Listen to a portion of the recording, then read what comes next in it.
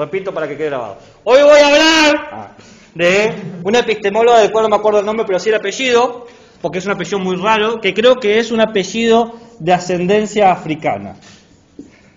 Okrulik. Ese es el apellido. ¿Bien?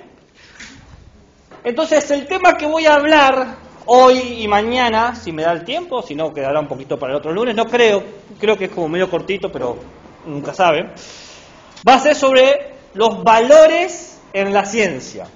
Los valores. El tema general es los valores, pero voy a empezar a hablar de un valor en particular. Bien, el tema general son los valores, pero empiezo a hablar de un valor en particular que tiene que ver con el problema de la raza. Es decir, voy a hablar sobre el racismo y la discriminación, para luego concluir sobre los valores. ¿Se, se, entendió? Sí. Ok.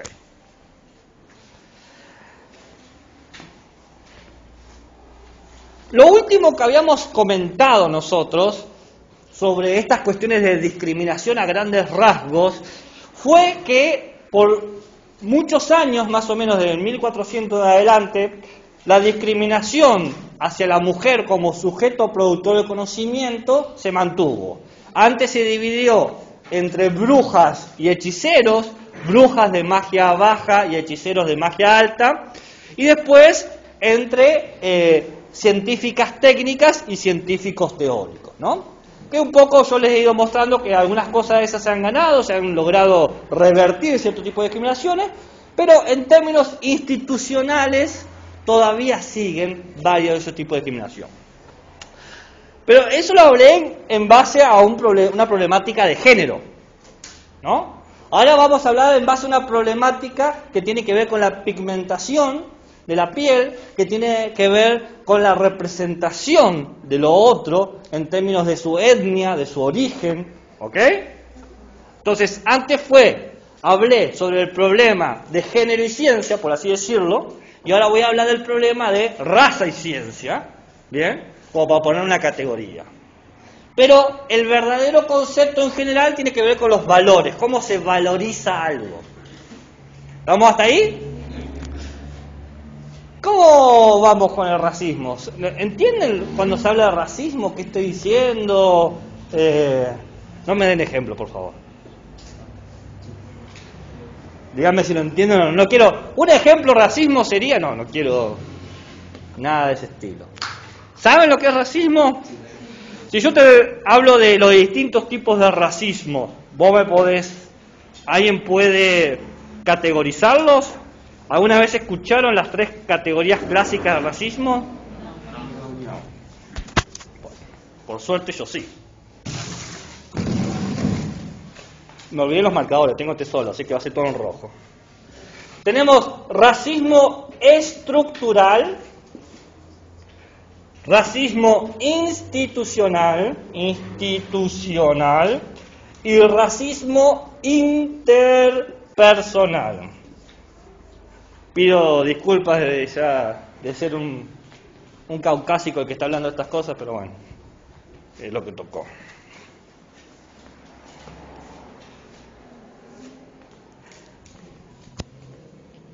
Los racismos estructurales, los racismos estructurales, y esto va más allá de la ciencia, estoy hablando de categoría, después las vamos a aplicar a la ciencia, ¿bien? Para que tengamos los conceptos.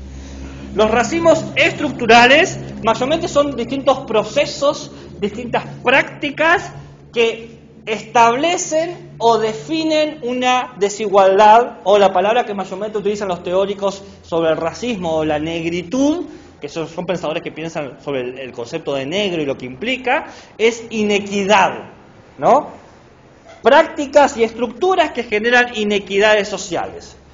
El ejemplo más claro que les puedo dar es blanco superior, negro inferior. Blanco superior, negro inferior. De esta manera, todo lo que es blanco es puro, es prístimo, limpio, y todo lo que es negro es sucio, confuso y hediondo. Esa palabra hediondo es una palabra que se utiliza mucho, negro sucio. Entonces, eh, eh, se genera estructuralmente eso. Mayormente, esta este racismo estructural termina constituyéndose en ideologías, es decir, maneras de interpretar y ordenar al mundo, maneras de interpretar y ordenar al mundo. Vamos a confiar en un científico blanco, vamos a confiar en un presidente blanco, vamos a confiar en un dirigente blanco, un científico negro voy a sospechar, un presidente negro voy a sospechar, eh, otro ejemplo dije, y un dirigente negro voy a sospechar. ¿Bien? Entonces, se genera dentro de estas ideologías estructurales racistas un mito. Un mito que traspasa al individuo, no importa quién sos vos, no importa tus papeles, no importa tus estudios, no importa tu biografía, te categorizo, te estructuro, te organizo en base a tu color de piel, ¿no? Este racismo estructural que establece una ideología se replica, se materializa, se vuelve real con estos otros dos racismos, el institucional o el interpersonal. Con esto quiero decir que el racismo estructural es condición necesaria para que existan los otros racismos. Es decir, el racismo institucional y el racismo interpersonal existen porque existe un racismo estructural que organiza la manera de ver al mundo. ¿Bien? ¿Se entiende lo que estoy diciendo? ¿Todos lo entendieron? Es importante porque estamos, quizás son temas que no han hablado alguna vez, entonces, como es un tema nuevo, no quiero ir rápido. Ustedes si va rápido me dicen, eh, bájale la espuma a tu chocolate, y yo le bajo la espuma. El racismo institucional el racismo institucional tiene que ver con la instrumentalización, instrumentalización de normas, leyes, estatutos, ¿para qué? Y para justificar el racismo. Todos nosotros conocemos, porque hemos consumido películas de Hollywood, Hollywood, donde tenías el baño de blancos y el baño de negros, el colectivo de blancos y el colectivo de negros, ¿no? O, nadie ha visto ese tipo de películas de época donde te muestran cómo a la gente de descendencia africana los categorizaban decían, vos podés usar este baño, podés usar esta biblioteca, ¿no? Pero eso es en Estados Unidos. ¿Por qué no pensamos un poquito localmente? Porque acá hay algo, y esto es algo que yo quiero aprovechar, en Argentina se invisibiliza el racismo. Se ha creado un mito de que somos todos hijos de blancos europeos. Que no es así, es un mito. Por eso es estructural. Y en esa estructura se ha creado la idea de que en Argentina no existen, por ejemplo, afroargentinos. Es más, si dice, si vos te encontrás, entre comillas, a una persona negra, decís, o es senegalés, o viene de Sudáfrica o viene de otra parte. No es nativo. ¿no? Ese es el mito que se ha construido. Entonces yo traigo ejemplos de racismos institucionales. En principio está cuando Argentina era una colonia, ¿no? El virreinato del Río de la Plata, bueno, hubo toda una transferencia de esclavos negros acá en Argentina. Muy importante, muy importante. ¿No? y, se empiezan a categorizar. ¿Qué pasa si cruzás a un español con un negro? Nace un mulato. Y se empiezan a hacer categorías institucionales, instrumentales, que te clasifican según tu grado de pigmentación, durante la colonia estoy hablando, ¿no? Para decir, bueno, ¿cuáles son tus derechos?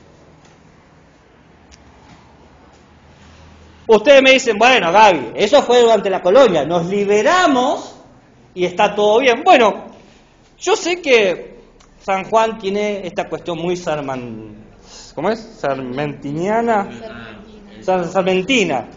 Pero en 1845, Sarmiento declaró por ley que el negro, el indio y la barbarie están extintos. Es decir, anuló su existencia por ley. No era que no había, claro que había. Pero para el Estado no existían. Eso es un proceso de invisibilización. Si vos te presentás como negro o indio, te dicen, no, acá no, en Argentina no hay negros indios, no, no, no hay. Pero yo nací acá, lo siento, usted será de otra parte, no de aquí, no tiene los derechos que tienen los ciudadanos. No sé de dónde es usted, pero soy, soy del Chaco, no, no sé. Quizás usted entró por el Chaco, pero usted no es de aquí, ¿no? ¿Se entiende lo que estoy diciendo? Usted me dice, bueno, Gaby, Gaby, bajale la espuma a tu chocolate. Eso fue, eso fue cuando todavía Argentina estaba como estructurándose. Tampoco hay que ponerle, pedirle peras al olmo. En el 2004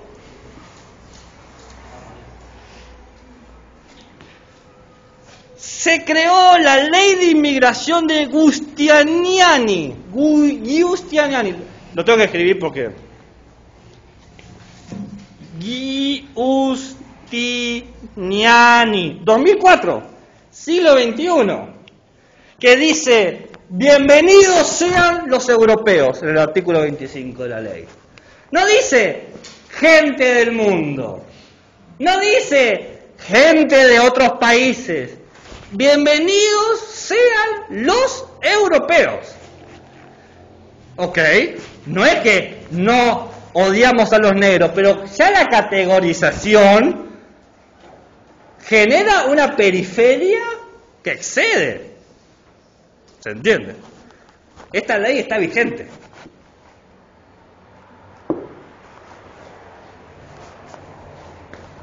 El racismo en Argentina existe, está invisibilizado, pero existe. Y existe a nivel institucional.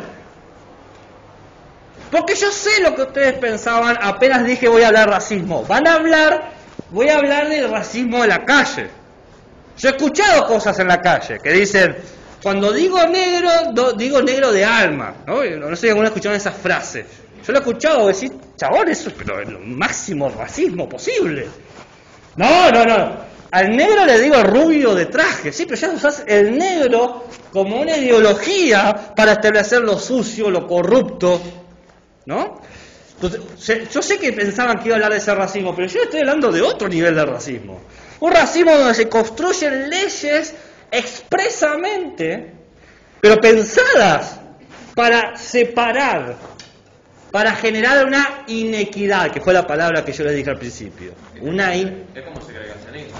Pero no es como, es. No es como, es.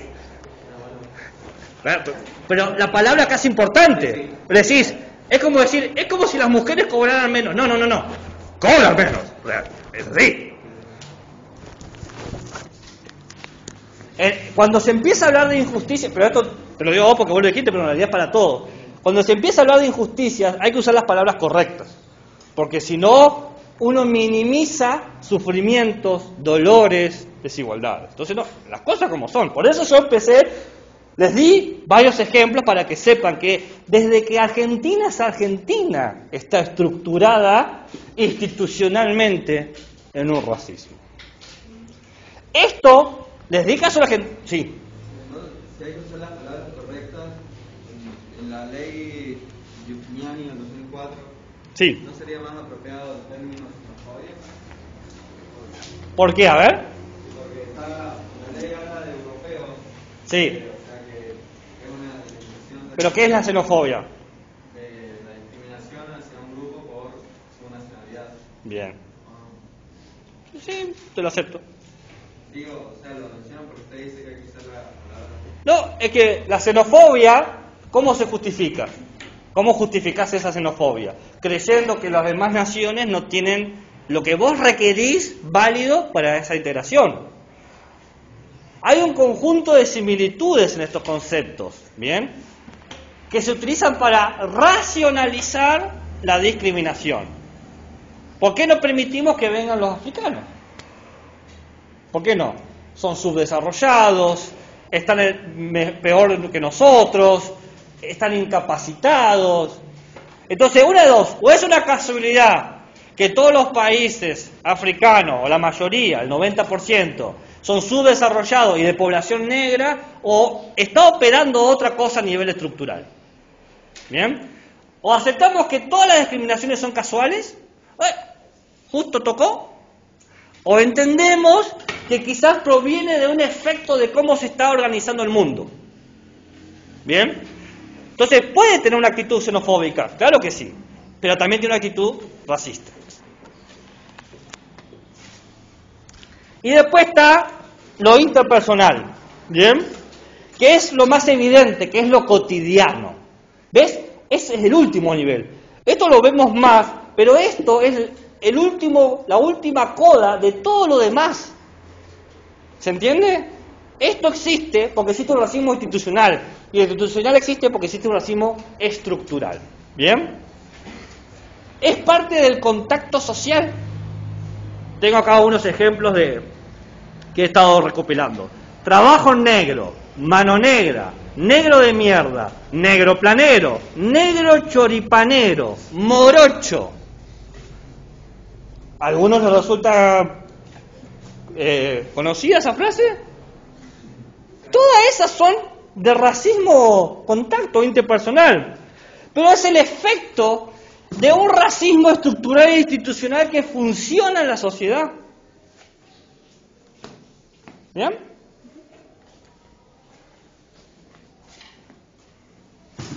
Me quedan decir dos cosas más del racismo en general y ya me pongo con el tema de con la ciencia. Entonces, por ejemplo, eh, lo que hizo Cavani de llamar a negro a su amigo, ¿fue racista o no? Porque se puede considerar que es la meta. No sé quién es la persona que me estaba hablando. Perdón mi ignorancia. Sí, ¿qué hizo?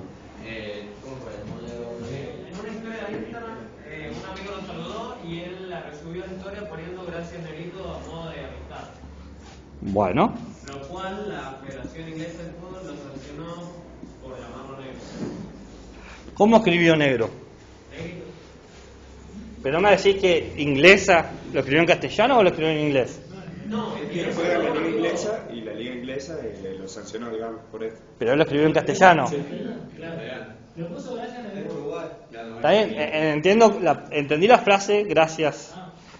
Lo que estaba preguntando, por un lado, era entender el idioma, porque, por ejemplo, en inglés hay un conjunto de palabras con negro que tienen un peso cultural muy grande que no se pueden decir. Tal es así que los estadounidenses ni siquiera dicen, dicen la palabra con N, ¿no? Porque no, no la pueden decir. Entonces, digo, hay que ver primero cómo escribió la palabra, ¿no? Porque de vuelta, volviendo a ese punto, las palabras importan. Acá, cuando la palabra habla de injusticias, hay que ser bien cuidadoso con, con lo que se está diciendo. ¿no? Segundo, hay que ver si, por más buena intención que vos tengas, vos podés tener un racismo bien intencionado. A mí me cae re bien ese negro. Y vos decís, bueno, pero ¿por qué la- el, el carácter negro es importante en la relación? Como cuando alguien te cuenta una historia, me crucé con unos chinos, vos decís, espero que, que sea el chino sea relevante para la historia, porque si no, ¿por qué me categorizás a la persona así? ¿No? Igual de la misma forma no se categorizan, o sea, me refiero no en el racismo institucional ni en el ¿Estructural? ni en el estructural, sino, eh, digamos, amistosamente, como le decimos, colo, rubia. Bueno, acá en Argentina está eso que yo decía, que la palabra, que estaba justo por hablar del, racismo criollo, que no llegué ahí todavía. Pero acá en Argentina no hay una conciencia social sobre el racismo. No es que ex- no exista, existe. Se lo acabo de demostrar que institucionalmente por lo menos hace una separación. ¿No? ¿Saben cuántos negros existen en Argentina? ¿Cuántos afroargentinos, que es la, la- la denominación correcta, existen? ¿Cuántos creen? Si tuviese que dar un número. Eh, 100.000. 100.000 dicen acá. ¿Dos millones? Exactamente, 2 millones. Según el último censo existen 2 millones de afroargentinos. ¿Bien? Es un número importante. Una minoría. Y ahora con el censo vamos a ver si se aumenta ese número, que probablemente, yo creo que se va a aumentar. Entonces, las palabras que se utilizan acá se utilizan de una manera creyendo que no tienen ningún impacto. Yo, mi consejo es que vayan con cuidado. A lo sumo, siempre que tengan dudas, saben lo que se puede hacer, ¿no? Sí, ¿cómo querés que te diga? No conozco la amistad de estas personas. Quizás, entre amigos, la otra persona era negra. Mira, ya si ya empieza a costar definir, estamos en problema.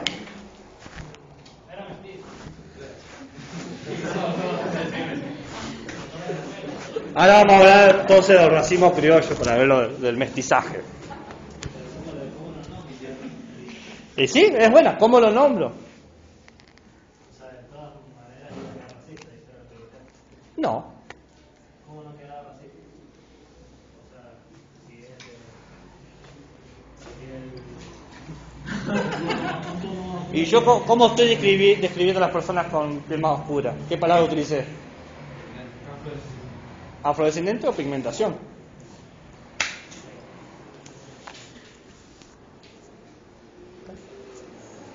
Estás aprendiendo, estamos todos aprendiendo, no es que lo...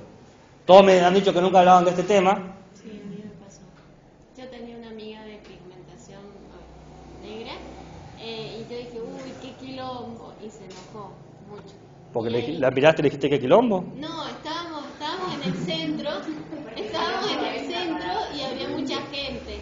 Entonces yo dije, uy, qué quilombo, y ahí se enojó y yo por primera vez supe qué significaba realmente. ¿La palabra quilombo? Claro. ¡Ah! Usaste la palabra quilombo. Sí, Ah, ok.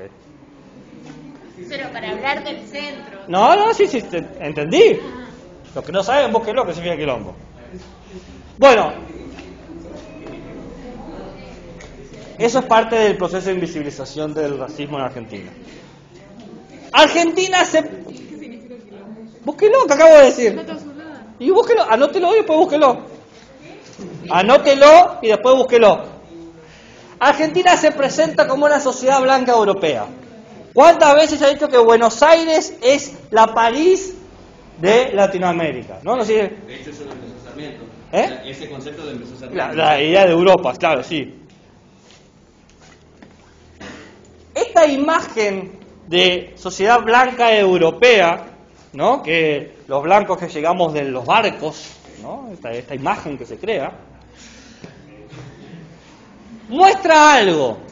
Es verdad, y que quizás estaba en sintonía con lo que habías dicho vos, no existían leyes expresamente raciales, como en Estados Unidos que decía los negros no pueden hacer tal cosa, ¿no?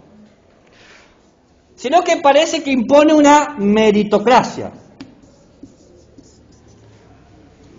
¿Sabes lo que es una meritocracia? Vos tenés lo que te mereces.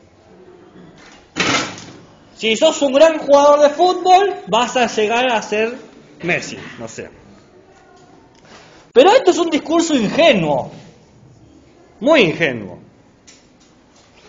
Porque parte de esta idea de meritocracia y de blancura, de que como en Argentina no hay negros, no va a haber racismo. Porque el imaginario del negro que existe acá en Argentina es el pelo mota, labios gruesos, el que vende empanadas, ¿vieron en, en las postales criollas? El negrito que vende empanadas, el negrito contento. Mentira, es un esclavo que va a ser contento. ¿no? Pero es la imagen que se vende. Esas lecturas de esta imagen argentina han sido casualmente textos que han escrito pensadores hombres blancos. La imagen de la Argentina blanca ha sido, si vos ves, vas a los manuales, no me crean a mí, agarren los manuales de los intelectuales que, de historia argentina y vean cuántos hombres blancos de formación europea hay. Si no quieren hacer ese trabajo, se lo digo yo, el 100%. Entonces, por lo menos sesgado es. Por lo menos sesgado es, porque agarrá un, 100 gru- un grupo de 100 hombres y ¿y qué piensan de esto? Encima, si se ponen a pensar, por lo menos durante el colonialismo, el racismo era expreso.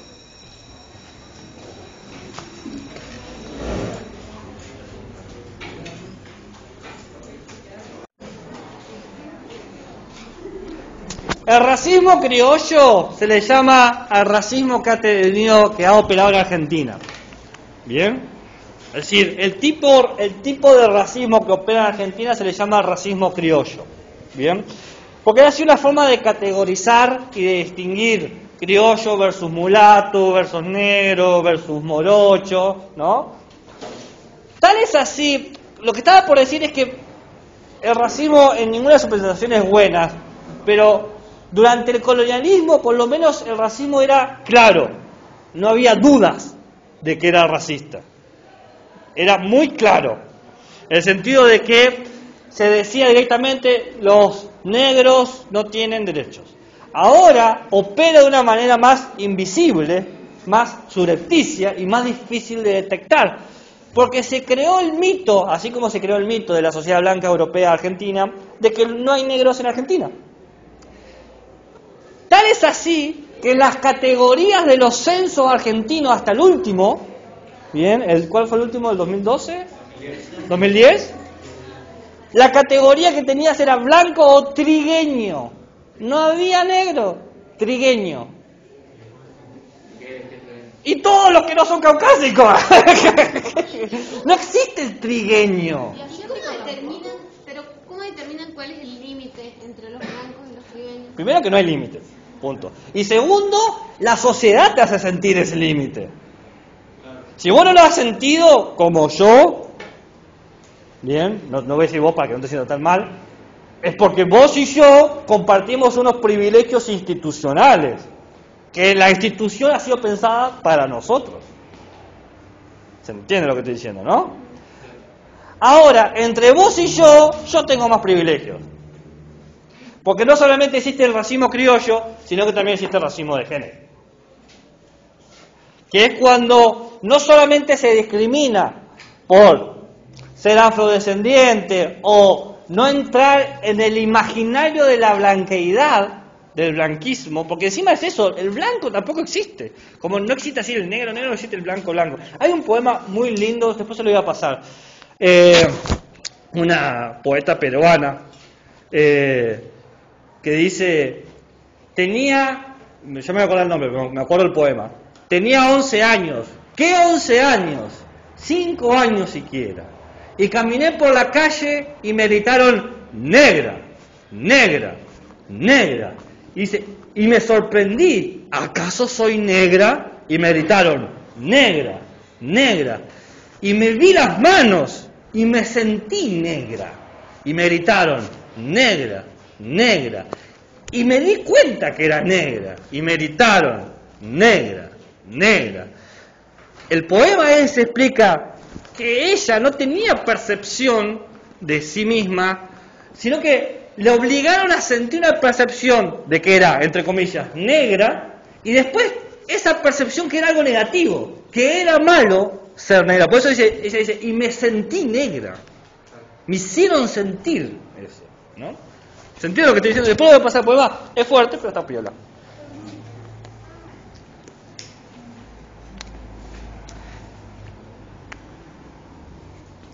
Sigo.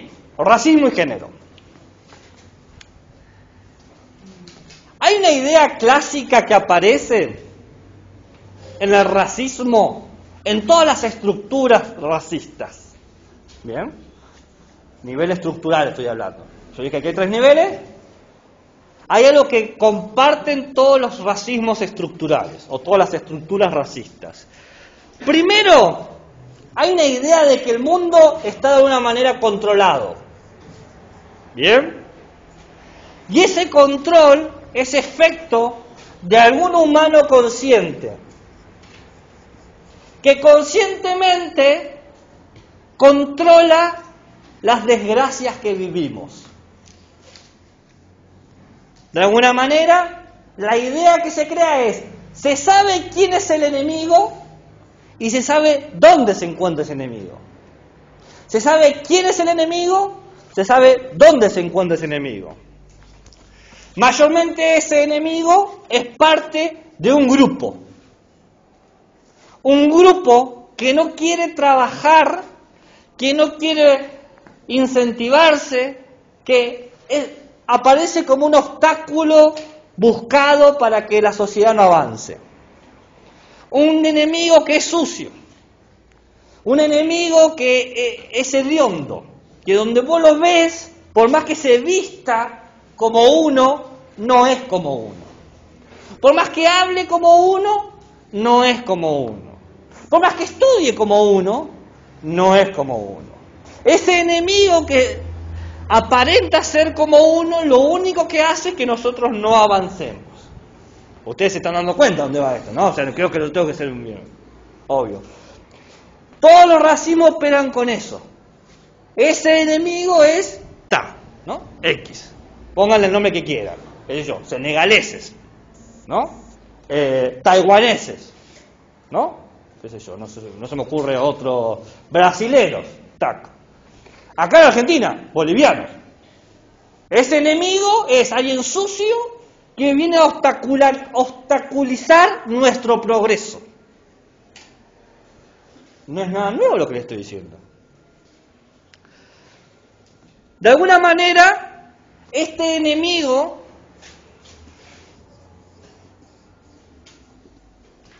no es algo que lo hace inconscientemente.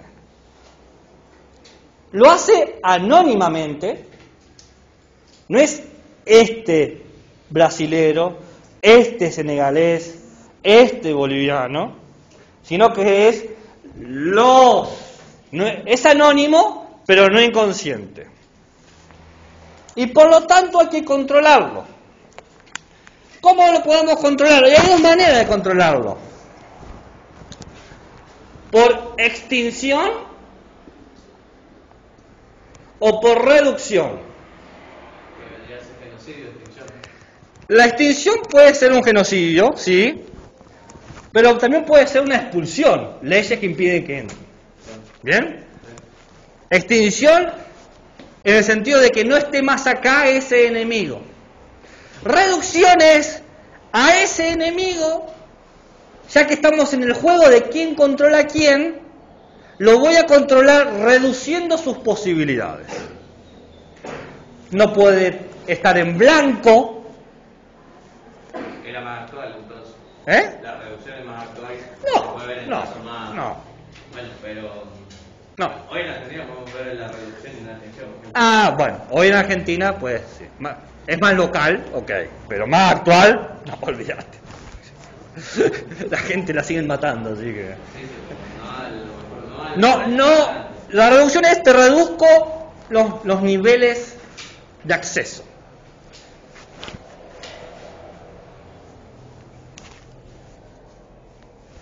Cada enemigo tiene su peor expresión. Tenemos enemigos que podemos convertir a ser los aliados, que trabajan internamente. Y tenemos enemigos irreductibles, que de por sí son malos. Su naturaleza es hedionda. Uso la palabra hedionda a propósito, porque es la imagen que se da. Y eh, no es una palabra que elegí yo, es una palabra que una- un autor, un filósofo antropólogo argentino, Rodolfo Kusch, señala cuando dice cómo se tratan a los indios. Que no son los indios, son los pueblos originarios, pero él, justamente juega con eso. Hay un libro que se llama Porteños, Indios y Dioses. Como que Argentina es o porteños o indios. Y dice, ¿qué caracteriza al indio para el porteño? Que es hediondo. Se viste a europeo, pero pesta. ¿no? No lo vamos a leer, no vamos a trabajar eso. Sino como para que entiendan por qué ut- utiliza la palabra hediondo. ¿Cuál es el mal irreductible? ¿Y la mujer? ¿Por qué? Es obvio. Porque reproduce el enemigo. ¿Entienden cómo funciona la lógica del racismo? Hay un enemigo, este enemigo es anónimo, pero no inconsciente, lo hace. Vienen a tener hijos, vienen a tener planes.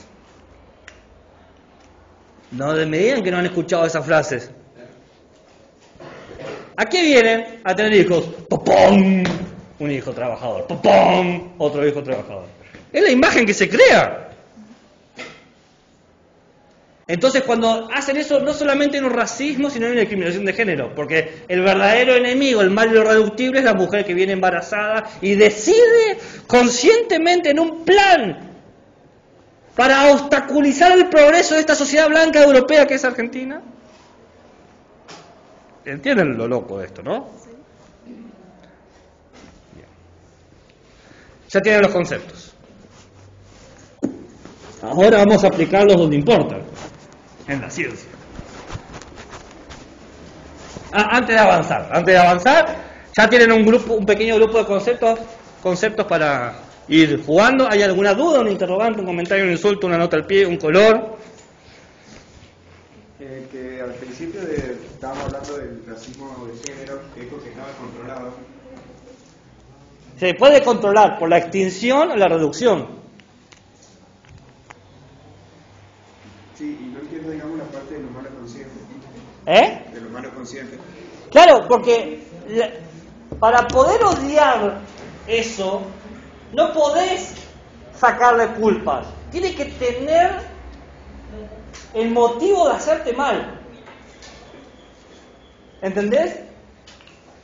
El, el enemigo este busca hacerte daño, busca atentar contra tu progreso, tu seguridad y tu tranquilidad.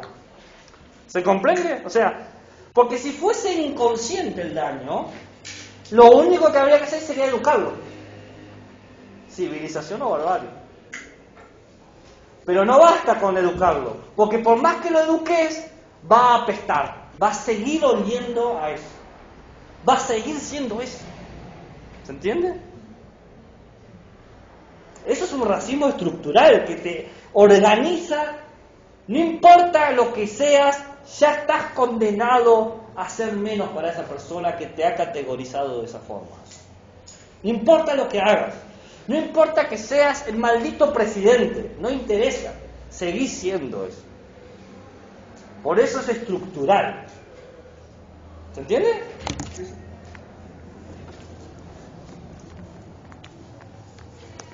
Una cosa que aprendimos cuando estudiamos a Fox Keller, por eso la vemos primera a ella antes que a Okeluric, Okeluric, Okeluric, como sea que se pronuncie.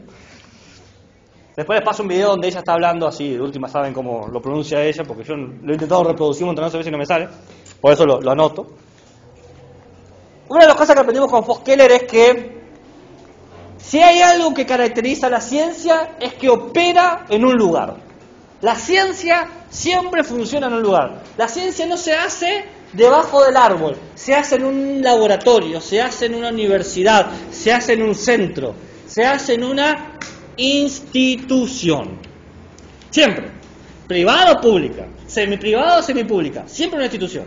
¿No? Es más, vos vas a estudiar, los que yo, se dediquen a la medicina o a una ingeniería o a lo que sea, van a ir a un lugar que va a tener su laboratorio, por ejemplo, los que estudian eh, idiomas van al laboratorio de idiomas, ¿no? Ya la palabra laboratorio está jugando ahí, ¿bien? Yo que me dediqué a la filosofía, voy al Instituto de Investigación Filosófica, ¿no? No importa qué hagas en relación a la producción de conocimiento, siempre se hace en una institución. Teniendo eso en cuenta, y acoplándolo con lo que Oklulik nos decía, lo fui a leer porque... no. Hay que pensar la ciencia que se hace en esa institución y pensar que esa institución replica al hacer ciencia los valores. Yo hago, yo hago ciencia según me dicen cómo tengo que hacer. De los tres tipos de racismo que hoy les he explicado, ¿qué racismo preocuparía en este punto? El institucional. Porque si la institución es racista, los valores que se van a poner en juego en términos sociopolíticos a la hora de construir conocimiento también van a ser racistas. Entonces, hay un racismo institucional en la ciencia. Hay instituciones que producen conocimiento científico y son racistas. Y esto lo cuenta la propia epistemóloga. Ella dice, yo trabajo en filosofía de las ciencias hasta que me jubilé, igual seguir trabajando, pero en términos institucionales, desde 1970 al 2015, dice ella. Está viva, sigue, sigue, sigue trabajando, pero después se jubiló, ¿no? Soy experta en teoría de la relatividad general y en la física cuántica. Sus campos de trabajo son esos.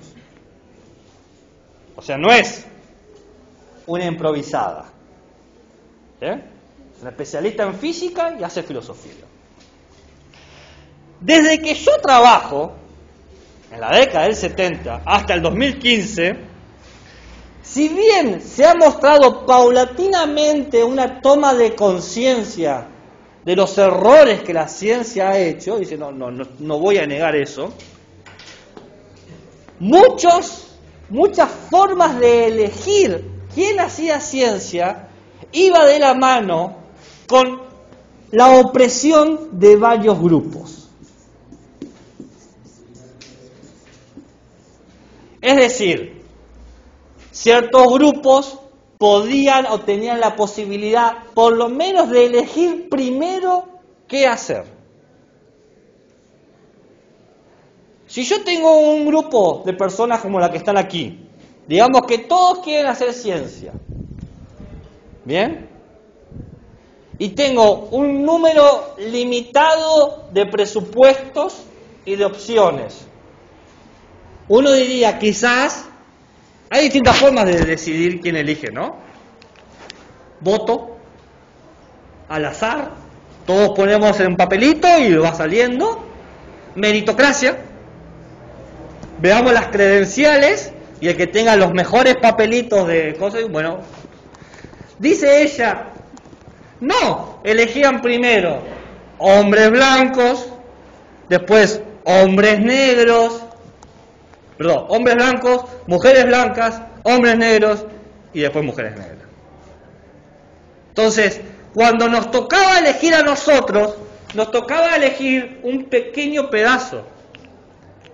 Entonces, había una presión de grupo ya mal funcionando. ¿Se entiende lo que está diciendo? No era que me decían, vos no podés hacer ciencia. No, no, siempre me dijeron, vos hasta elegís lo que querés hacer. Claro, y es verdad, yo elegía. Pero ¿cuándo elegía? Luego de que todos a- eh, eh, agotaron las opciones. Y no es que yo no tenía los papelitos, porque esa es una física, y no es cualquier física. ¿Entiendes lo que estoy diciendo? Entonces, institucionalmente operaba un racismo, operaba una estructura de normativas que permitían interpersonalmente generar discriminaciones.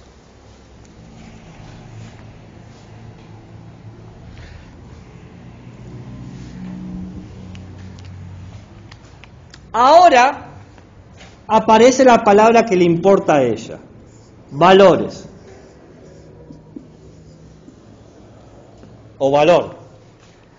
Dice, díganme, díganme, ¿no suponía eso una valorización de quién podía hacer qué cosas? ¿No estaba operando un valor, un criterio moral que elegía quién podía primero y quién podía final? ¿Entiende lo que está diciendo? Dime. Y dice, dice ella, no se confundan. No estoy diciendo que las, esté mal que la ciencia tenga valores. Es más, la ciencia es lo que es, tiene el éxito que tiene, tiene el poder que tiene porque fomenta ciertos valores. Porque defiende. Lo que define a la ciencia, dice Ocruir, lo que define a la ciencia es su capacidad de elegir buenos valores. Ella defiende la ciencia y acá aparece como aparecen todas las epistemólogas que yo hablaba antes. No, no odian a la ciencia, no están en contra de la ciencia, quieren que sea mejor. Entonces dice, hay que hacer esta crítica, hay que entender estos límites. Dice, la ciencia es nuestra mejor manera de obtener información sobre el mundo. Por ahora, la mejor manera que tenemos para tener información empírica, verídica, comprobable, replicable, transformable en tecnologías e instrumentos es la ciencia.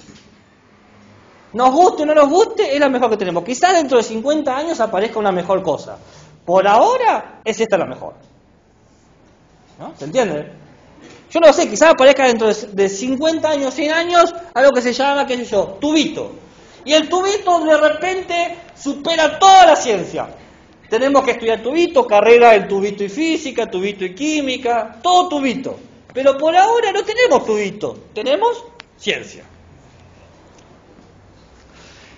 La ciencia puede hacer esto porque le tiene ciertos valores que le permiten clasificar la información, clasificar quién hace ciencia, clasificar los instrumentos de medición, clasificar el éxito.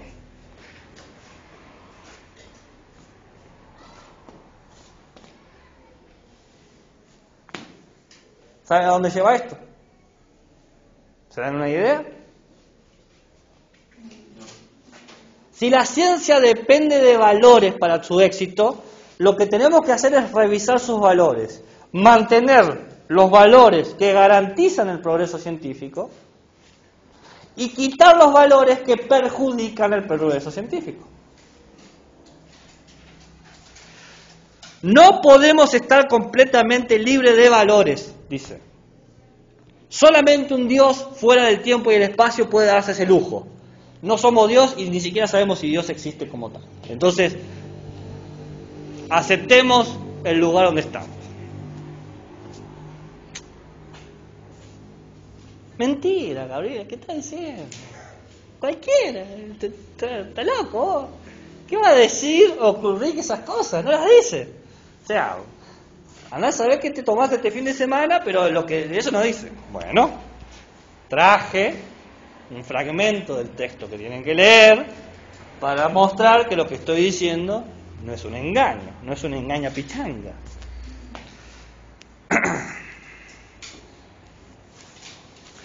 La ciencia está. El, el, texto que tienen que leer es parte de un ciclo de que se llama mini conferencias. Son conferencias de 10 minutos, de 10 minutos donde distintas personas, especialistas en sus campos, dan como pequeñas charlas. ¿bien? La charla que da ella es sobre ciencia y valores. Entonces dice, la ciencia está bien, pero aún quiero reconocer que gran parte de la motivación provin, provino del hecho de que, por ejemplo, sabemos que la religión oprimió a las mujeres. Y la gente dice, oh bueno, eso es una cosa de fe. ¿Qué puedo decir? Pero si nos encontramos con la ciencia, dicen, esos son solo hechos. Señoras, tienen que entenderlo. Cuando emigré acá, como estudiante de posgrado, estaba tratando desesperadamente de alimentarme y obtener dinero. Iba por ahí y solicitaba trabajos bancarios y esas cosas, y tenía que completar formularios sobre enfermedades médicas, incluso si yo tenía periodos. ¿Saben que todo eso fue, bueno, se considera como una base científica para conseguir buenas prácticas de empleo? Así que soy mayor, pero no tan mayor, y esto ya no es irrelevante ahora. Muchos de los primeros trabajos sobre ciencia y valores se ocupaban de las ciencias médicas porque en realidad eran los médicos los que controlaban la vida de las mujeres casi completamente en ese momento. No te daban un trabajo, por ejemplo, si tenías un periodo. ¿No? Eso es la cosa que está explicando ella. Hay un valor ahí. ¿Cómo catalogamos a las personas que pueden elegir? De tu periodo, cuando lo tenés, no podés proponerte para una beca, quiere decir que hay días específicos donde vos no podés presentar nada, o tenés que negarlo. Tenés que negarte a vos mismo, como habíamos dicho con la epistemología feminista, ¿qué pasaba? Muchas personas negaban su propia identidad para poder acceder. Entonces dice ella, suponte que yo ese día no podía, o esa semana, pero ¿qué pasa con los que sí podían? Ahí está yendo el punto. ¿Sí? Sí, sí, eso, bien. Tranquilo, eh, baja, baja el cuchillo. Los valores, está diciendo, siempre han operado sobre la ciencia. Se hizo más evidente con la medicina, porque en un momento empezamos a decir, dice ella, eh, que yo tenga el periodo no significa que no pueda hacer ciencia. lo cual a uno le parece medio obvio, ¿por qué tendría que decirlo? Y bueno, se ve que había que decirlo. Entonces dice, la ciencia representa necesariamente valores. Hacer ciencia supone comprometerse con ciertos valores. ¿Cómo podemos mejorar esos valores? ¿Cómo elegir los mejores valores? Esa es la pregunta que hace ella. ¿Cómo podemos mejorar los valores de la ciencia y cómo elegir los mejores? Y fíjense lo que ella juega mucho con el lenguaje. Si estás pensando que el ser humano paradigmático Si el ser humano que debe investigar es un hombre, y por lo general un hombre blanco, tus datos reflejan solo lo que es bueno para ellos, para los hombres blancos. Si vos pensás que hacer ciencia, eh, la idea del ideal científico es un hombre blanco en bata de laboratorio, y bueno, la ciencia va a ser buena para ellos, pero no para los demás. Sí. ¿Ah? En, la, en la clase anterior habíamos hecho hincapié en el hombre, acá vamos a hacer hincapié en lo blanco. ¿No?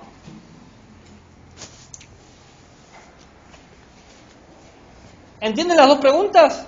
¿Cómo podemos mejorar los valores y cómo podemos elegir los mejores valores? Bueno, ella da dos, ops- dos caminos. Es una mini conferencia, no le piden una tesis de un libro completo. Si quieren un libro completo, ella cita el libro, se lo recomiendo. Es muy bueno el libro que cita ella, está buenísimo, porque habla de cómo se definía la inteligencia. ¿No? ¿Cuánto tiempo me queda? Eh, 10 minutos. Ah, bueno. Aprovecho cinco para contar un poquito, o tres. La, la historia de inteligencia es buenísima. Porque básicamente es, en un momento dice, dice ella, la inteligencia se, definía por tu capacidad de contar. ¿Bien? ¿Qué tantos números podías hacer? Ejemplo, en, en Estados Unidos, ella está pensando ahí, ¿no? Para votar a los afrodescendientes le hacían contar cuántas burbujas había en un jabón. Si sabía, podía contar correctamente la cantidad de burbujas que había, es como si yo hago espuma y te hago así, ¿no? ¿Se entiende? Podían votar, ¿no? El tema es que con la escolarización, que se empezó a hacer más pública, sabían contar. Entonces se cambió la definición de inteligencia. Que tenía que ver, ya, ya no tan subjetivo, menos racista, que tenía que ver con la cantidad de conexiones neuronales. No había como un, un- un límite, no conozco mucho cómo se leen esas máquinas, así que no, no pidan que se los explique. Pero en el libro lo explica de una forma fácil de interpretar, que tiene que ver con el grado de eh, interacciones que hay de las conexiones neuronales, ¿no? Según los datos que tenían en ese momento, los hombres blancos tenían mayor eh, número de conexiones que las mujeres y que los hombres negros. ¿no? Entonces, la ciencia demostraba que el hombre blanco era más inteligente. Hasta que las máquinas se afinaron y descubrieron que las mujeres tenían más conexiones neuronales que los hombres. Entonces tuvieron que cambiar la definición de inteligencia. en vez de aceptar que las mujeres, en ese caso, en el momento que te lo cuenta, eran más inteligentes bajo su definición de inteligencia, ¿eh? Se dijeron, no, no, no, no, hay que definirlo de otra manera. ¿Eh? El IQ. Sí, no viene después del IQ. No, empezaron a pesar el cerebro. Ah, ah. Empezaron a, a ver el peso del cerebro y se dieron cuenta que el peso de los hombres blancos era más pesado. Hasta que se dieron cuenta que no importaba el peso, sino el volumen. Y de repente el cerebro de hombres blancos, hombres negros, mujeres blancas, y todos tenían el mismo maldito volumen. Entonces ya no servía, ¿no?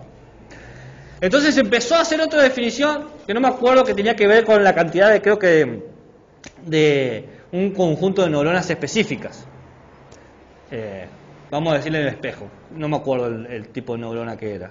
Y se descubre que los elefantes tienen más neuronas que nosotros. Entonces, según esa categoría, los elefantes iban a ser más inteligentes que nosotros. Y no podía ser. ¿no?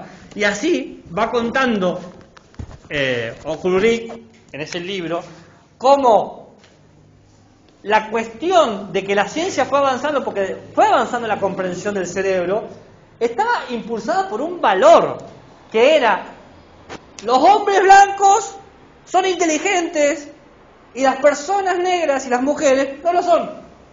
¿Entienden?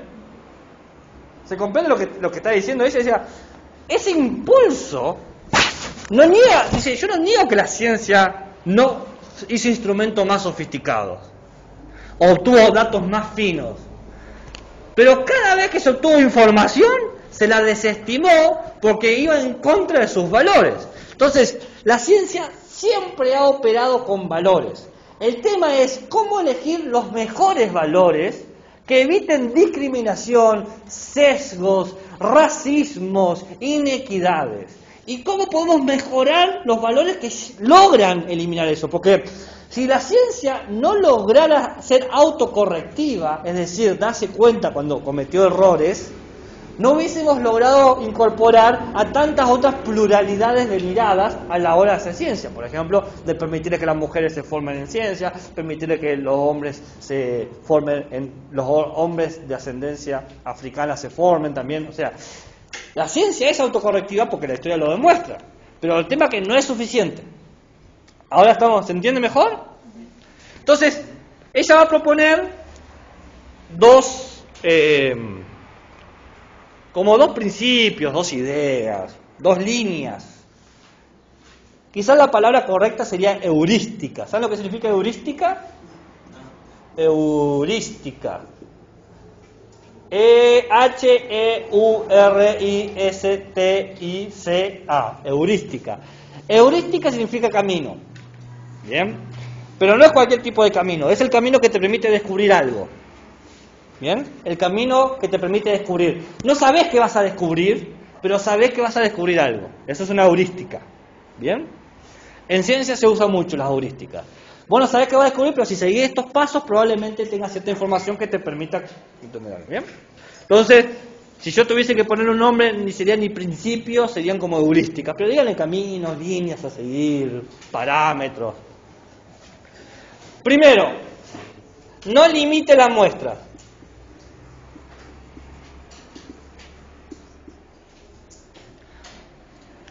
Lo dijo, si tomás al blanco, al hombre blanco como paradigma del humano que hace ciencia, vas a tener resultados para el hombre blanco.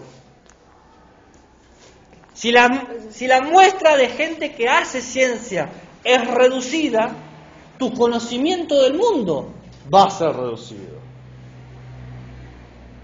Parece obvio, ¿no? Y si fuese tan obvio no estaríamos hablando en el 2022. Segundo,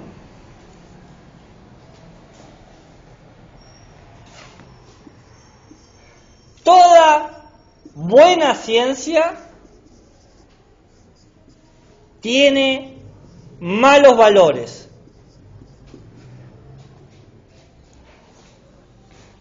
Lo que dice acá Ocluric es aceptemos que siempre hay algo para corregir. ¿Recuerda lo que yo les conté sobre Darwin y la evolución de la inteligencia humana? ¿O no lo conté o lo pensé, que lo iba a contar? ¿No? ¿Seguro? Te lo cuento. ¿Quién ha leído El origen de las especies? ¿Completo? Ah, no, no, sabía el... No, no el título. oh, existe un libro que se llama El origen de texto resumido. Ah, un texto, un texto. No, no, no, el libro, el libro. Está bien, no están obligados a leerlo. Se los recomiendo, Darwin escribía muy bien. Cuando digo muy bien, escribía muy novelescamente. Entonces es, es hasta divertido leerlo. Asegúrense que todo lo que dice Darwin ya... Lo único que quedaba fueron cinco ideas, todo lo demás a la basura. Pero Darwin tiene ahí una teoría que es genial. Porque dice Cruz, Darwin es un claro ejemplo de buena ciencia con malos valores. Porque Darwin que hizo? Revolucionó la biología. Vamos, a ver, la posta. Hizo un concepto sobre la evolución azarosa por las presiones sociales que van testeando las variabilidades de los individuos para que se conforme una especie en términos del desarrollo de su población. ¡Pah! ¡Qué locura! ¡Qué locura! Todos tenemos distintas variables por mutación, por lo que sea, no interesa, y la, la naturaleza del medio ambiente va presionando y poniendo a prueba. Y las, que, las variables que tienen más éxito se reproducen, ¿no? Qué sé yo, de repente tiene más éxito que todos los hombres y mujeres altas eh, tengan, qué sé yo, porque la comida está muy alta, entonces se va a seguir reproduciendo los altos y los petizos nos morimos, qué sé yo, no sé. Por decir, muy caricaturesco. Es una buena idea. Explicó muchísimas cosas. ¿Por qué tantas aves de la misma, de la misma familia tienen distintos picos? ¿No? Los pinzones, por ejemplo. Ahora, Darwin dijo, ya que estoy explicando todo, yo también voy a explicar la inteligencia. Ya, soy Darwin, o sea, ¿qué te pasa? ¿A qué me dedico? ¿Por qué el ser humano es inteligente? Y Darwin dice, obviamente, ¿qué puede decir? No sé. No, no, usted, usted piensa en los valores. Porque los hombres dejaban a las mujeres al cuidado, ¿no? De los bebés que se queden guardaditas en las cuevas, eso dice, dice Darwin, ¿eh? Y ellos tenían que usar su inteligencia para cazar. Esquivando mamuts, eh, velociraptor, no sé, una mezcla media extraña ahí, ¿no? Entonces, el hecho de